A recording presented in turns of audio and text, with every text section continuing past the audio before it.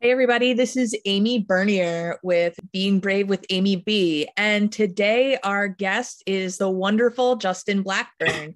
he is a coach and he guides people uh, to love, to love themselves, to see the love in others, um, and to realize that they're coming from love each and every moment. And he helps them choose that more deeply.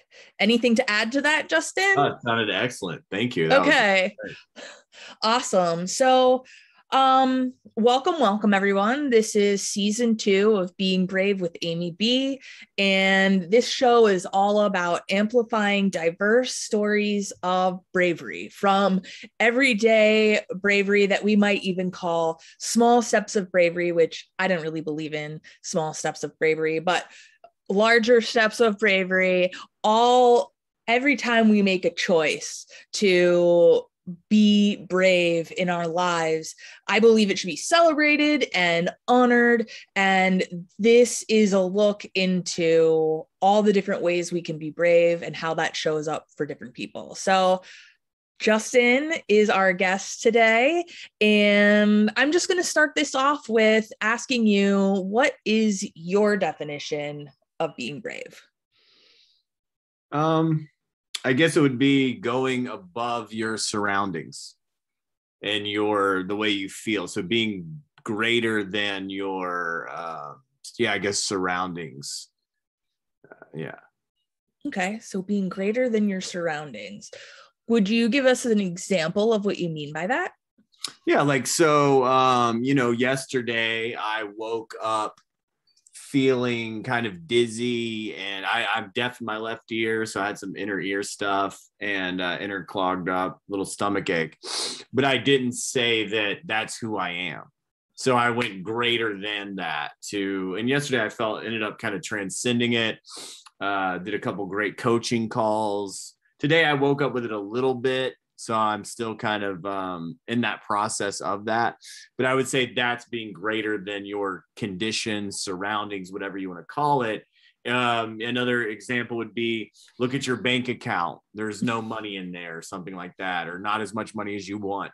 Can you be greater than that vibration? Can you walk into a room full of millionaires and you know ha- feel like you're the fucking you know god of gods you know? Can you have a very small penis and walk around like you have a very big dick? You know it's like being greater than your conditioning. So to me it sounds like the way i'm hearing this is you may be having experiences that you're not like a huge fan of but instead of identifying with like i am my bank account or i am my little penis or I am, you know, whatever comes after I am in the case that we usually attach to those things that we're afraid of, right? That I I am not this circumstance, I am greater. Circumstance. Than... Yeah, that was the word I'm looking for. Yeah. That was a good word. Yeah. Okay. circumstance conditioning, they all kind of fit in that same little, you know, because if you're surrounded by an energy of feeling less than, you know can you overpower that energy with your own energy you know can you become the power in the room and mm. what happens is is energy follows thought mm-hmm. so it follows that into whatever you want to create from there mm, mm.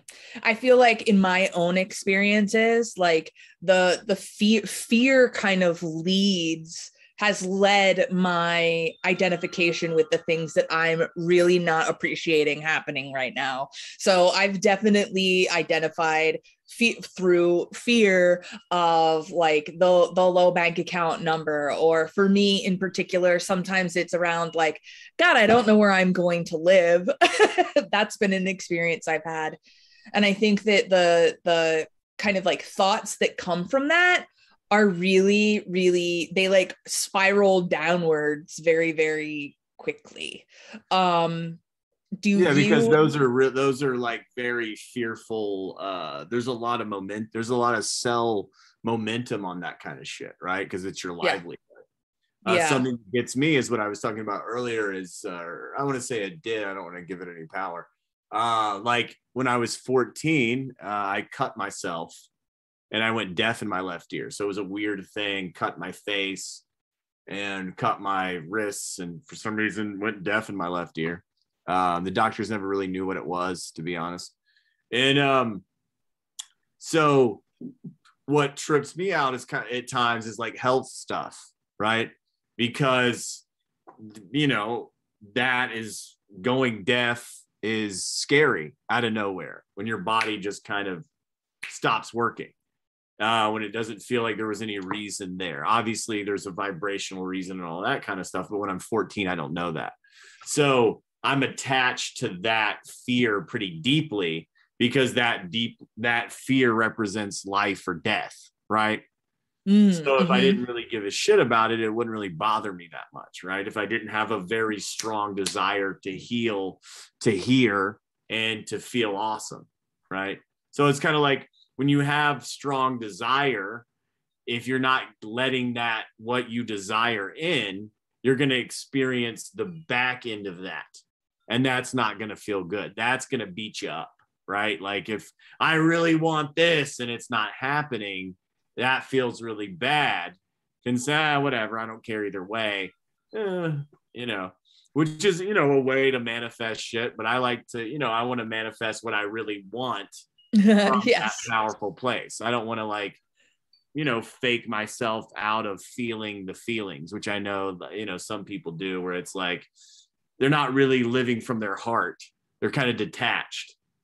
That's a way to manifest. You know, I'm just detached from what I desire and then it comes. Yeah. I think that that's definitely that detachment, that owning the feelings, allowing them to move through and then you know setting my intention to something that i really want rather than what's happening now um, and then detaching from the outcome i think that that's that's the piece where i get tripped up oftentimes um, because that the experience of fear that i've had um, around we'll just keep using money because that's something that's floated around for me a couple of times and, and i know is common for people you know it's a common like every day because everywhere you go you know when i had money lots of money like I would spend money and not even think about it. But when I started, had an experience of resigning from my teaching job and getting part time jobs, but primarily focusing on my business, the experience of putting gas in my car, the experience of going to the grocery store and buying food, the experience of saying yes to spending time with my friends, you know, let's say at a bar or a restaurant or something, it changed my it, instead of being open, oh, this is open and easy and fun, it it turned everyday things um, for me into more experiences of more contraction and more contraction and more contraction. And that's yeah, something and- that I mean, that I think a lot of people, especially during the current times, are are are going from an experience of not really thinking about certain things and then now there's just a more intensity around health and money and um uncertainty re- can really trigger those those fears do you yeah, I, I, but i think that also can be not to invalidate anybody's feeling anyway but i sure. also think that can be an excellent experience for you because you get more focused right mm. for example um i i kind of upgraded my business um recently where i um i was doing uh you know working with certain people for like kind of pay what you can if I felt called to do that. Mm-hmm. And I stopped doing that in, in December. And because, you know, I, I had a lot of clients and everything's going great, but some of them I felt like, you know, I'd rather have less clients paying me more than having a bunch of clients paying me less. Right. So then I feel like I'm really awesome at what I do and my clients are getting great results. So I was like, all right, let's cut that off.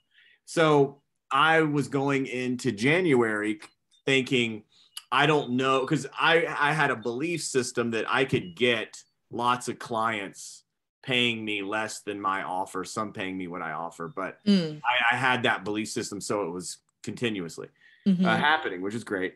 But then I was like, no, I'm going to cut that off. So I know that this belief system of getting more clients at a higher rate is not as um, aligned So I was like, okay, well, I'm going to be more conscious about how I spend money. Mm. So, you know, even though, so I would go into, okay, like for example, I took Gianna out to dinner at the beginning of the, when I dropped into this. And I was like, I spent like $70 on like a mediocre meal. And I was like, all right, this is going to come back to me times three. Right. And then uh, last week I had two clients pay in full for a month. Um, and I kind of I stopped doing it this week because I made a, more money than I thought I was going to. But now, well, after- that's amazing. yeah, it's great. but after that, I um this even this week, and I you know I have more money than I thought. I I want to kick back into that energy because I think that feels good. And what I'm saying is being intentional with it. So when you're Mm. throwing money around, you know, it's not. I'm not saying anything's bad, right? But for me right now, what felt good to me is being intentional, right? Like, okay, boom, I have this amount of money, even if I have, you know, which I do, I have more money than I anticipated this month or whatever. But that doesn't matter. I still can live very consciously. So cutting back that, not, you know, obviously I'm not, obviously it's scary and I'm not trying to invalidate anybody's feelings or yours, but it can also be a great way to consciously create financially.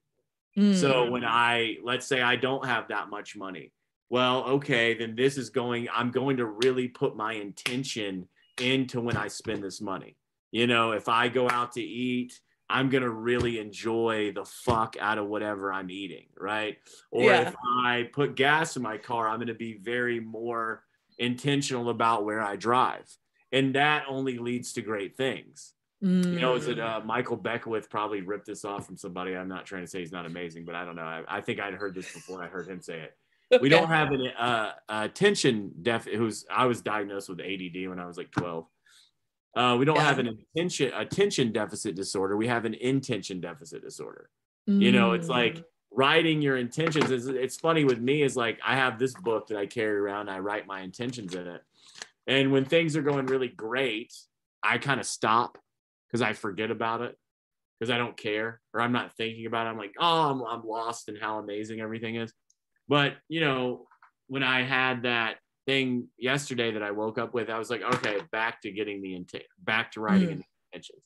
Because whether I'm feeling great or I'm feeling um, a little off, this is an incredible, uh, for me at least, an incredible exercise. So whether I'm rich or I'm feeling rich or I'm feeling like lack, that's still a great exercise to do. Is whatever I do, okay, I'm going to spend this money. I actually got that from Nick, Nick Tilia, uh, amazing coach uh, who I've worked with for a while. Love the guy. He said he went into everything I spend comes back times three or whatever. Mhm. And, you know, that's what we want to do when we're creating is being intentional, right? So when we spend from, you know, oh, I have so much money, blah, blah, blah, blah, blah, just wherever, nothing wrong with it. Not putting it down, that's great. But when we do it from intention, Mm. it comes back and we're more conscious of what we're doing. You know, it's like doing anything from intention. You know, yesterday I was playing basketball. Actually, it was a couple days ago. I was playing basketball, and these guys, uh, it was me and this like high school kid that really sucked versus these two dudes. This one guy that said he played college. I don't really believe him. Uh, I looked it up for him. I couldn't find him on there. And this other guy that was taller, bigger, and better than I was. And they were kicking our ass like every game. yeah. And I was like, I am going to win this game. I put my intention, I imagined we're going to win 16 to 14.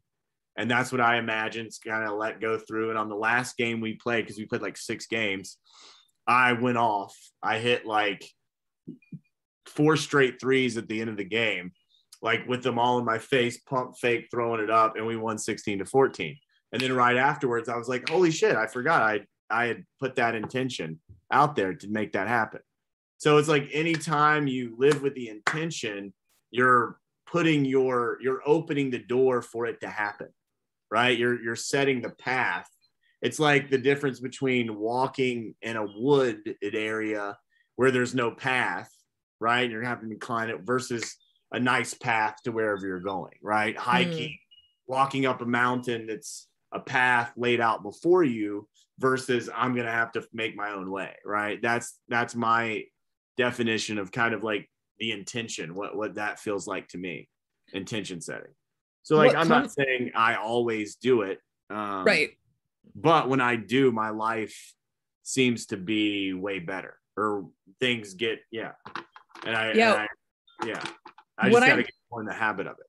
Yeah. What I'm taking away from what you're saying is when I feel like when we're in that fear response, we kind of in in many ways like slow down and become like hyper aware of everything. And what's coming up is what if we were to use that instead of like becoming hyper aware and then like increasing our fear and our contraction even more what if we took that hyper awareness and then said oh now i get to every thought that that pops up or feeling that pops up like instead of like just for me, when I focus on a fear, it just feels like the fear becomes exponential. But what if I use that contraction as like a, oh, pay attention now, and then set an intention around whatever you're hyper focused on? Like, as much as we don't like to be afraid, um, there might be a power, a shifting power in that moment to then be very intentional about what 100. we're experiencing. I had a um, yeah, I had a call. Uh, this is actually a couple months ago with a client of mine, and um, they had a um, they were like, "I'm going to tell you something. It's really embarrassing." Da, da, da, da. And I was like, "It's not embarrassing," and they're like, "Oh, it is." And it's like, I'm like, "No, it's not." Uh, you know, that's what I'm thinking. Like, you know, you can say whatever. Nothing's embarrassing in that kind of safe safe space of unconditional love. Absolutely. And they're like, "I have this thing on my head that I." um kind of scratch all the time, right? It's kind of like when I'm anxious, I dig into my scalp or something. Mm-hmm. And um, what we transformed that into was I was like, okay, when do you do that? Oh, it's when I'm anxious. So let's turn that into an anxiety button. So when I mm. push this button, I know that I'm anxious, mm-hmm. right? So that goes from I'm anxious unconsciously to, oh, scratching my anxiety button. What am I anxious about? right? Yes. And from there, we broke down the things that were anxious and uh, they were anxious about, and they had an amazing transformation by just doing that. I haven't followed up with them. Since, I mean, we, we still work together, but I haven't followed up since. The wow. Things. But that that's a great thing because if you go into okay, unconscious, unconscious, and then you're like, okay, I'm doing that again. This is an anxiety button. This is letting me know that I'm anxious you get to go from what do I want to create now instead of like, oh my God, life is overwhelming. Right, right. You go from being kind of unaware to aware. And when we're aware, that's when we have a power of choice or even like the opportunity to to ask a question like you said about like what is what it oh god oh wait when i do that I'm letting myself know that I'm anxious. And then you can have the opportunity too to go and say, like, what part of me is anxious and love that part. Exactly. Totally. Um, so this whole podcast can we can have conversations about many things. And prior to now, you and I had a conversation about quite a few opportunities or times in your life when you were brave. Is there one in particular that you would like to share today? Um, sorry about that. Um, That's okay. One, um, one that's uh, coming to mind, and and this is going to come to mind, so I'm just going to trust that it's like, um, and I don't even say I was brave. I was more of an asshole, but um, I remember. Okay in high school, like um, uh, there was my English teacher. We had to do research papers for something, right? And uh, all the kids before class were sitting around going like, you know, this teacher doesn't know anything. She's a complete moron. Oh my God, I am so stressed. And as a person that didn't really care about school and didn't really do shit, and honestly, my mom paid this person from Bob Jones to write my research paper. And I got a 50 on it because they didn't um, quote something properly. Um, anyway, so that was pretty funny uh, to my mom. Uh, she paid for it and I still failed. But I I stood up and I said, uh, "Hey, uh, teacher, uh, class doesn't feel like you know what you're doing, right? They feel like you're not helping us out on this at all." And uh, she flipped. She's like, "Class, do you feel this way?" And they were like, "No." And she took me outside and she cussed me out. And uh, I don't want to say she cut, she flipped out on me. I don't know if she used profanity, but it was like, I am, I'm English genius and you, you know, just like went went off on me, right? And that wasn't really. I was just kind of. I just said things because I didn't care. I don't know why I did it, but I, I, it, it was a, it was a really awesome thing where I would speak up for myself. Mm-hmm. You know, even though I got boom hit in the face for speaking up for myself, Mm-hmm. It was a really great thing that I always did. And it wasn't really conscious being brave. Um, you know, like I had a poem this leading, like I remember I had I had a poem uh I put out three almost four years ago now called White People Us that went viral and you know 40 million people saw it and and um a lot of uh, black people hit me up as like thank you so much for no white person had kind of said that and and other people were like, you were so brave for saying that. And it didn't really feel brave. It just felt mm-hmm. like speaking the truth. So right. coming back to, and it is brave, but it didn't feel like brave to me. But that is, in my opinion, a brave thing. Uh, going back to the high school, where I would always speak up and say things that would get me in trouble, but I said it and that kind of taught me not to have a filter which mm-hmm. kind of led me to who i am now which is expressing myself well so I, I have to say justin like you're definitely what one of the many things that i like about you is that you do you honor your own your truth and the truth of others like ferociously you know you you I'm remembering back to my high school time, and I'm also remembering being a teacher.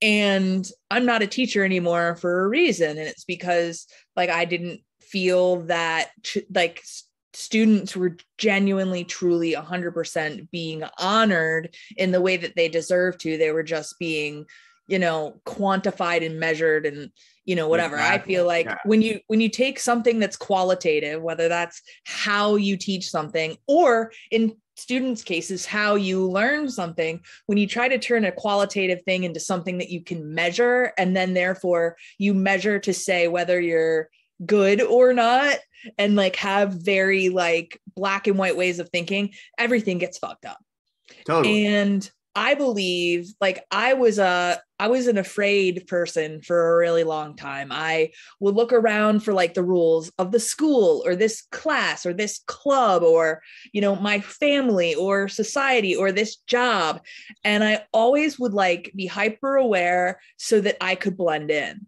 So that I knew the rules, so that I could follow them, so no one would not like me or no one would whatever. But over time, as I've grown, I realized I was never that, I was never actually that person.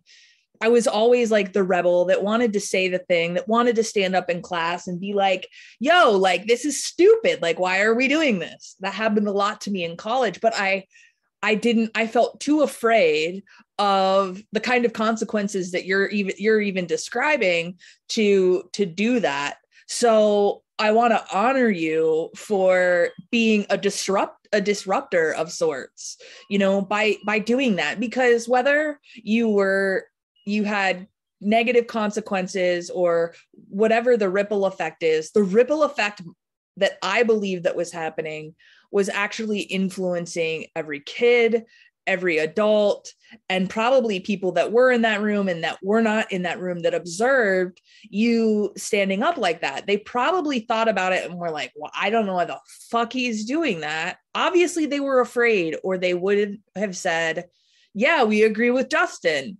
But Yeah. you were showing that there can be another way. And I Totally. believe that kind of seed planting changes lives. And you were doing that as like as a young person. And that's pretty fucking incredible. Thank You you. know? I take that to heart. I really appreciate that. And and my whole point of saying all that was that it's brave, but I feel like like I was saying with with the poem that I wrote, it it's truth. So like I don't feel brave when people are like, "Oh, you were brave for putting that out there back then or whatever." And it's like, no, I mean, I got some death threats and things like that, but it didn't feel brave because it just feels like saying the truth. And that's Yeah. kind of what I was kicking back where I was like back in high school, I didn't feel like, oh, this is brave for me saying what I said. I probably also kind of said it just to fuck with the lady because that's how I kind of was. Yeah. But it was like, I'm just saying the truth. So it doesn't actually feel brave in your body um, because it's like, yeah, I'm speaking the truth. And Yeah. so, but it is brave because we're in a world where speaking the truth is, I think it's getting a lot better, but you know, it can get you bad consequences, right? You know, Totally. and that happened to me a lot. And I mean, the bad consequences I had, I were, you know, I did, um, I did have the Secret Service come after me once. That was pretty crazy. But, uh, Whoa. I think that um, might have to be for another episode because I'm going to have to wrap up. But I want to say, Justin, you're truly someone that lives their truth in so many different ways. And from the from the conversation that we're having now, plus the conversations that we've had before, you've been in this practice of living your truth for quite a while, and you are perfectly aware that you know it makes other people uncomfortable. It makes our society uncomfortable. And it's amazing it's amazing it's what we need more of and um i want to give you an opportunity to justin is an amazing coach as you can imagine just from the short conversation that we've had here how can if people are listening to this and they're like oh my god like Justin's amazing, or or maybe you have a different reaction. You're like, oh my god, I can't believe he did that. Both are indicators to you that what Justin brings to the table is something that impacts you.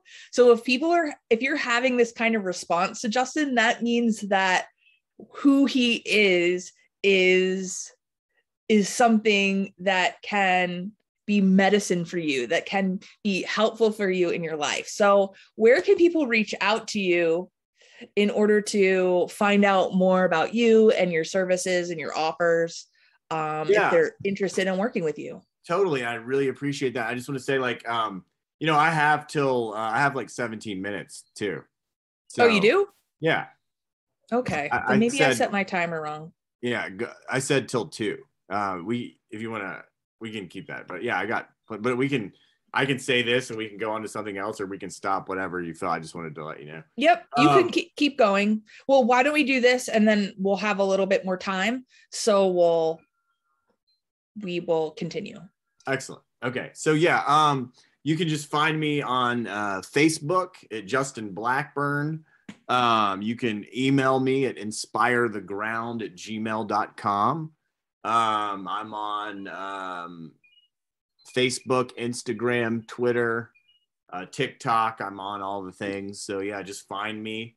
And yeah, we can uh, you can hit me up if if what I do resonates with you. And you know, my coaching is is just about um, helping people embody that truth, living in that truth. Because, like I said, when it's natural to feel amazing and feel into your truth, life is really awesome and it feels really good because it does feel really great to speak your truth. And, um, you know, I feel like that's where a lot of people are having a rough time because they're dismissing who they are. They're dismissing their truth, can't speak your truth uh, things go bad. Anytime in my life I haven't been able to speak my truth, I'm thinking of my last relationship.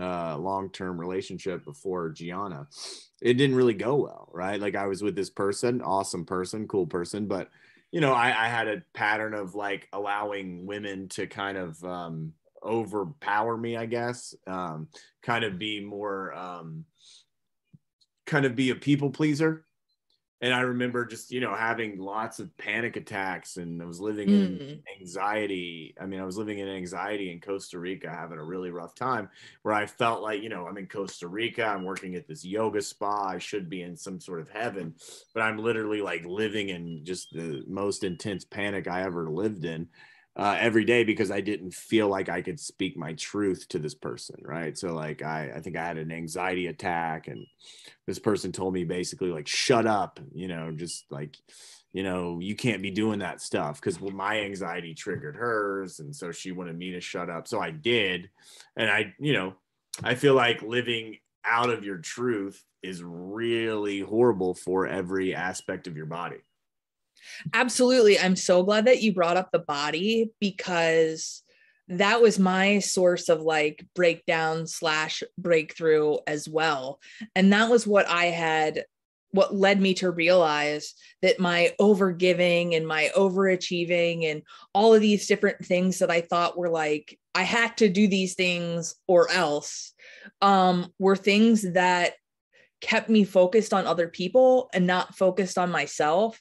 So there was this habitual pattern of pushing down my own emotions and what I wanted. Like I didn't give a voice to all the different parts of me just because I was never really taught how to do that. And it really yeah. came from my body and my back pain and anxiety and depression were really um not character flaws like I thought, you know? They're really exactly. just pointers saying yes. like this something you're not you're not fully expressed. You're yes. living in a you're not living your truth to put it totally. like you like you would and I think that you know when a lot of these kinds of awakenings or breakthroughs happen when we think we've done everything we were supposed to do. Or like in your case like i'm in this beautiful heavenly place and you're supposed to feel relaxed and all of this stuff. And it like the experience you're having in your body is incongruent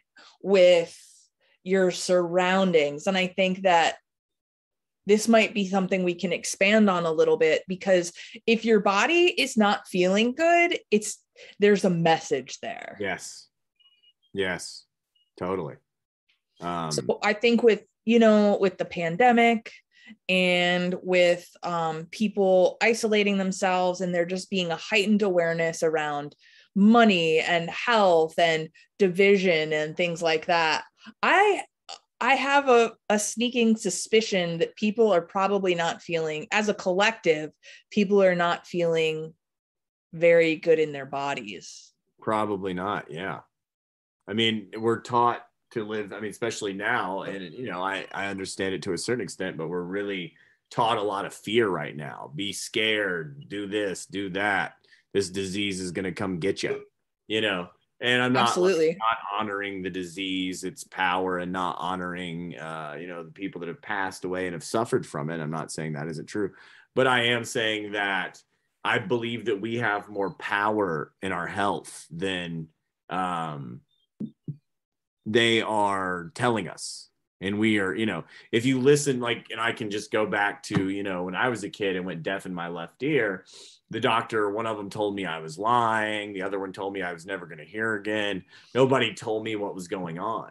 So mm-hmm. you know i felt as a kid extremely and this was deep down like i detached from my body. You know i can't trust these people that i'm supposed to trust. And that led me into spirituality. So it was kind of a beautiful thing because who can I trust? I can trust God. I can trust source. I can trust, you know, same thing. I can trust vibration. And if I get down and I can understand that, like, what's actually happening, you know, like, you know, people like Dr. Joe Dispenza or Bruce Lipton or these people that really break down scientifically what happens in the brain and the body and how to transform that so we don't have to feel like you know literally up until like the 90s it's i mean we live in such like hilarious times. I mean it's kind of sad but we really thought that uh, your genes created your life right? Like if you had the alcoholic gene i can't drink. My dad was an alcoholic. I have his genes. We were really taught that the genes created your life and mm-hmm. if you mm-hmm. think that you're completely you know we thought i mean it was like up into like the 90s where you know, where, where, it was like actually transformed into textbooks. And a lot mm-hmm. of textbooks, I don't even, you know, I don't, I don't read the textbook, so I don't know. But this is just from, you know, reading this stuff that they, that's what they thought. That's what we were taught. And, you know, even now, like with my mom and my parents and other, and some people, you know, like, for example, my uh, great uncle uh, got cancer. And, you know, it's like, just go with what they say. Or like uh, one of my mom's friends got diagnosed with dementia early onset dementia. I'm like boom put her on to joe dispenza. You can heal yourself. And she's like no and the doctor's just like yeah you got a couple years. And it's like what motherfucker like you know i went through that i'm very sensitive to that because I went through that in my left ear and still go through it because I didn't heal it and I'm still deaf in my left ear. But just mm-hmm. being told that like you're basically fucked is yeah. a trigger for me because I think it's complete bullshit. And I think we live in a world where they tell you that and you self-fulfilling prophecy, right? Like uh, I had another great aunt or my aunt, uh, yeah, I guess it's a great aunt, some cousin or somebody through marriage or something. They were told that you know they weren't feeling amazing but they went into the doctor and the doctor's like you got cancer you got six months to live. They died in a week you know? Whoa. so it's like we don't understand that the body the we're energy first right? We're not we're like 99.99% energy. And the physical world is an extension of the energy that we are our physical being and because doctors don't get that, you know, I'm not putting them down. That's what they're taught. But we we run into a lot of problems in the body and don't understand it. Like, you know, it'll make me laugh when like science, like some, I'll see some like, um, you know, report or something, and somebody will share like, you know, uh, being happy is actually good for you. Like, yeah, no shit, science. Right. Like, science says that if you smile, you'll feel good. Like, you know, it's like it's yeah. so ridiculous that I feel like we're just light years behind in a lot of ways. Uh, you know, and yeah, so I, I just think that we're very we don't promote empowerment in our world and that's not a political thing that's a in my opinion the left thing and the right thing all people we don't really promote empowerment, you know? And so we're not empowered as a society because, you know, you get what you focus on. Yeah. I think that's a really powerful statement what you just said that we're not we're not taught to be empowered in our society. And I think yeah. that a lot of a lot of, you know, the people that are that are into more into spirituality or an energy and and vibration and things like I've talked to so many people and it's through challenging experiences of you know getting diagnoses or you know having like a breakdown like emotional breakdown. It's it, what i've seen is it's been like physical emotional like all of these different things where the system didn't serve them and they were no longer willing to to give all their power to a system because they had this felt sense that there's more. Totally. Uh, that exactly. there's more. And then they go on this um they go on this journey if you will to seek what feels true to them. And when that's found they realize they've had the power all along. Like that's totally. been a story i've heard over and over and over again you know? And i feel that that spirituality and um, kind of recognition of more than what we can perceive with our with our our senses um, i feel like this that is the that is the path that we're all kind of headed headed towards. And some of us, Yeah. yeah, and some of us have had these experiences before others so that we could share our experiences and lead lead through sharing our stories and and help people one step at a time you know Yeah. because because people are freaking out and you know Well, send them my way. I'll help them. there we can we can we can make a different choice and i really feel that inter, interdependence is is another thing Co- real true community of support and encouragement and and help is is key for that too Yeah. what, what do you think Yeah. Definitely think that, you know, you know, we're we're one. I mean, I definitely think like we have our own individual consciousness um as well, like our own subjective consciousness. I mean, we're all one. And I think within that oneness, we also have this subjective consciousness that we're experiencing life through. And I think, you know, someone connected to that, who they are, is way more powerful than, you know, a million people that aren't. Uh, Abraham Hicks says that. That's right. You know, and I agree. So now I say that. But um, yeah, I, but I also think that yeah, I mean, community. You know, Jesus said, "When two or more are gathered in my name, you know, cool shit happens." Right. So yeah i think that's a direct quote yeah, exactly.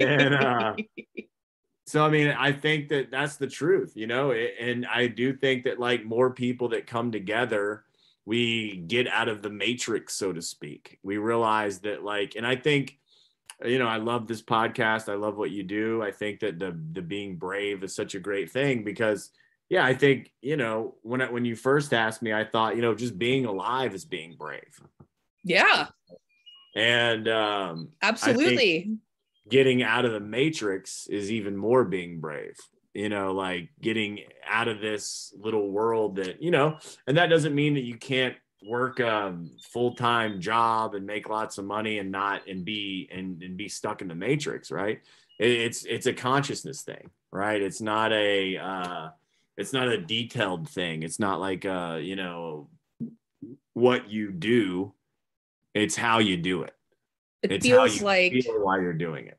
Yeah, and it feels like a taking your power back. It's Yes. remembering that you have power. So. My last question for you is if you had kind of one message that you just one message that you could send to like everybody on the planet like if you could just infuse their knowing with this one thing um, that you feel would help them what would you want people to know Uh, I guess, can you imagine uh, an unconditionally loving God? Can you imagine a limitless, unconditional loving God?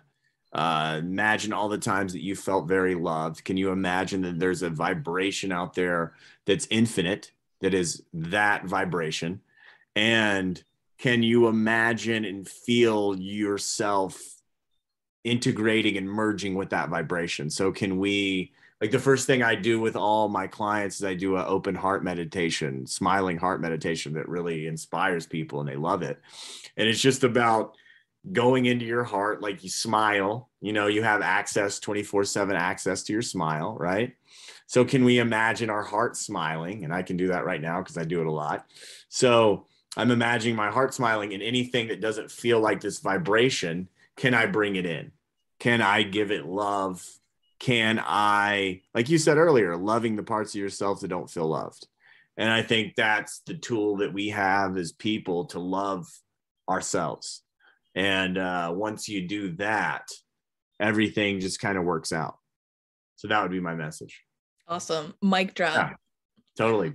All right. To everybody that's watching, if you are interested in supporting the Being Brave with Amy B podcast, there is a Patreon that you can contribute to. There are t shirts. Being Brave is the new perfect uh, for Aw. you to purchase. Yeah, I love it. And so many other ways to subscribe to the YouTube channel and the podcast on Anchor and Spotify. Give a You know, review. Apple Podcasts. right. Awesome all different ways to to support um if you'd like to support in a larger way go ahead and send me a message we're looking for sponsors and investors at all that align with the belief systems of being brave with Amy B. And until next time, I see you, I believe in you, and I love you. And don't forget to be brave and say yes to you, all the parts of you. Awesome. Bye.